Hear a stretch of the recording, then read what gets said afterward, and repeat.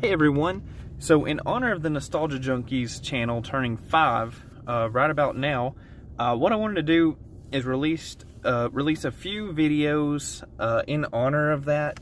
Uh, it coincided with me finally finishing the Superior Spider-Man, so I wanted to make a few videos, um, and I'll go ahead and tell you what they are so you're not waiting, but I wanted to do uh, the top five covers, and this is covering volume one of Superior Spider-Man, but I want to do top five covers of that 31 issue run, top five comic books from that 31 issue run, and uh, top five moments. So I'm hoping to do those, and then I want to put a video out that just um, is a big overview of my entire thoughts of the series. Um, so I think it's going to be a blast making those videos, and I hope that you were able to tune in.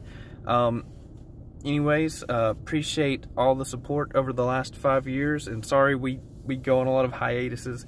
Um, but since this channel started, we've had uh, two marriages amongst the group, and uh, and two children born, and uh, job changes, life changes, everything. But we're still going strong. We don't get to see each other as much, but that's okay. We make it work, and um, we're trying to keep content coming out for everyone. And uh, spoiler alert, but hopefully we're all going to be able to make it to FarleyCon this August and possibly get that filmed as well. But anyways, thank you again for all your support over the last five years, and I hope you have a great day.